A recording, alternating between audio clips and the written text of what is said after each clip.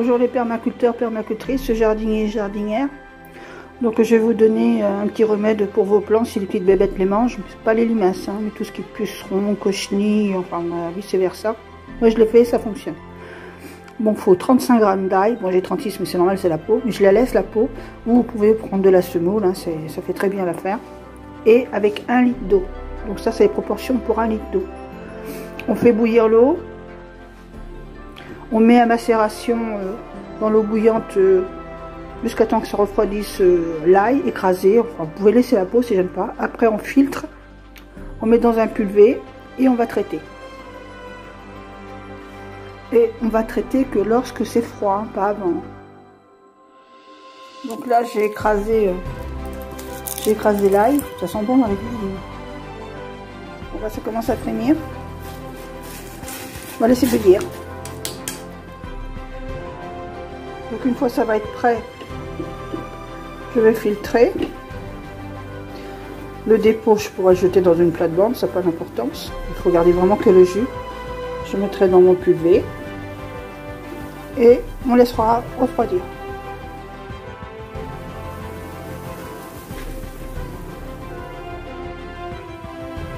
Un petit détail, je laisse mijoter, si on peut dire, jusqu'à temps que l'ail devienne toute molle. Là, pour l'instant, elle est encore dure. Donc quand elle sera molle, j'arrêterai. Bon, ben voilà, ça fait à peu près 10 minutes, un quart d'heure. Là, elle est euh, toute disloquée. Donc, je vais arrêter. Et puis, euh, je filtrer. On y va.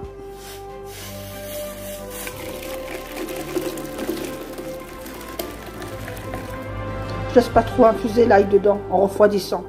J'ai peur que ce soit trop fort. Comme j'ai pas d'expérience sur le recul, quand, ça infusé trop longtemps, donc je préfère euh, le faire comme ça. Et puis, euh, moi je suis sûre parce que ça m'a éliminé mes premières bêtes. Pour que ça aille plus vite, je vais mettre au frigo. Donc nous voilà dans la serre. Donc j'ai mes petits pieds de tomate là.